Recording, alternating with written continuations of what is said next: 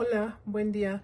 Mi nombre es Angélica García y soy profesora investigadora en la Facultad de Antropología de la UAMX en Toluca, Estado de México, en País México.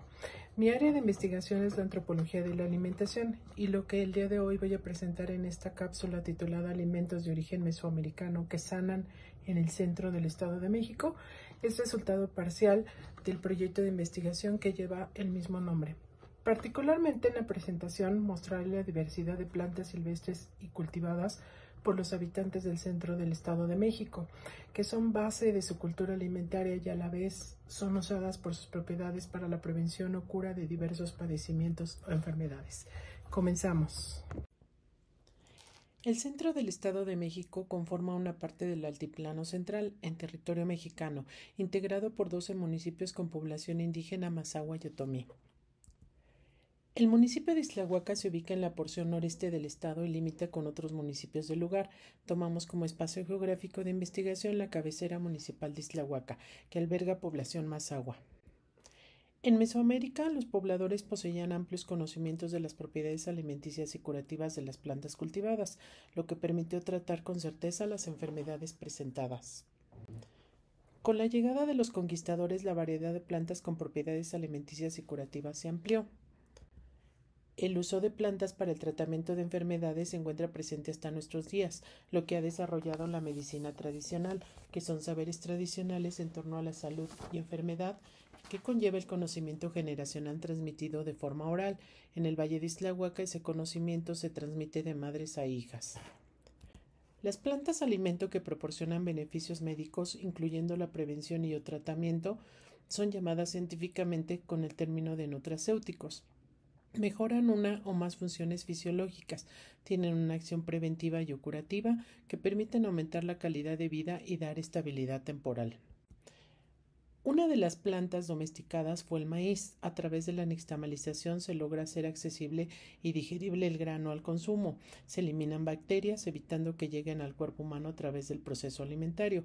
El consumo de maíz en grano o tortilla proporciona calcio, ayudando al sistema óseo. Su consumo en ceniza se usa para limpiar dientes y encías. Los cabellos del elote o barba del maíz se usan para tratar problemas renales, urinarios y para dolores de articulaciones. El huitlacoche es un hongo que crece sobre la mazorca de maíz, aparece por el exceso de humedad y es un alimento nutracéutico. Regula niveles de glucosa y colesterol en la sangre, mejora problemas digestivos y fortalece el sistema inmunológico. El consumo es al vapor o en taco con tortilla de maíz. El frijol, como alimento, es un complemento básico del maíz, contiene fibra, contribuye a prevenir enfermedades del corazón, bajando niveles del colesterol. Por su contenido de antioxidantes y fitoquímicos, ayuda a prevenir enfermedades crónicas. Por su bajo índice glucémico, contribuye a disminuir altos niveles de glucosa en la sangre. Es un alimento rico en proteínas, hierro y zinc. La calabaza es una especie cultivada que se aprovecha como alimento de manera integral. Su consumo en semillas beneficia al sistema nervioso y regula el ritmo del sueño, favorece el desarrollo del sistema inmunológico, reduce colesterol malo, previene la hipertensión arterial por su alto contenido de fibra y ayuda a prevenir calambres porque es rica en potasio. La calabaza de Castilla, alimento representativo del Día de Muertos en México, contiene beta-caroteno y ayuda a prevenir enfermedades del corazón. Los quelites son plantas silvestres comestibles y toleradas para el consumo humano. Crecen alrededor de la milpa, existen diversas variedades. Su consumo aporta vitaminas, minerales y fibra.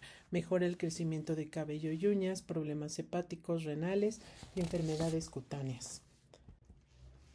En el lugar de la investigación existen otras plantas aromáticas y que a la vez son medicinales, como el romero, la menta, la albahaca, el perejil, la verdolaga y el tomillo. El epazote es una planta popular usada en la preparación de alimentos y para dolores estomacales, cólicos, parásitos intestinales, diarrea y vómito. Se recomienda tomar en ayunas en té con agua o leche. La población advierte de no dar a los recién nacidos y niños pequeños, ya que se cree puede afectar su desarrollo. Otras plantas consumidas en infusiones y que sanan son manzanilla, hierbabuena, jengibre y ajenjo. Otros recursos naturales nutracéuticos no cultivados en el lugar son el nopal, el chile y la flor de colorín o zompantle. Las plantas curativas son conservadas, se lavan y se secan a la sombra para colgar en manojos o para mantener por largo tiempo en recipientes. Finalmente, deseo compartir con ustedes algunas reflexiones que son las siguientes. Durante años, las plantas silvestres y cultivadas han garantizado cubrir necesidades básicas del cuerpo humano de las diversas culturas del mundo. Lo que se come y se usa como alternativa médica tiene relación con el medio natural y cultural, así como con la concepción de quien lo consume y usa. En el Valle de Islahuaca, que es el espacio donde trabajamos, existe una amplia variedad de plantas alimenticias y curativas que en el espacio científico son conocidas como neutracéuticas. Las plantas cultivadas y silvestres de tradición mesoamericana han resultado ser eficaces como alimento y para curar enfermedades del cuerpo humano hasta nuestros días.